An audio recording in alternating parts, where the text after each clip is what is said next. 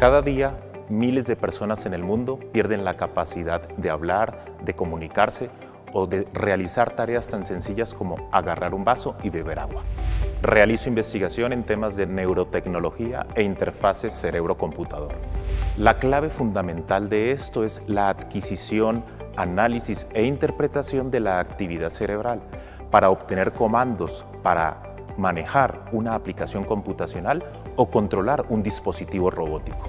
Estamos generando conocimiento de frontera para beneficiar a personas que por enfermedades neurodegenerativas como la esclerosis lateral amiotrófica o que por accidentes que causan daño en la médula espinal puedan recuperar la capacidad de comunicarse con su mundo exterior o de realizar movimientos.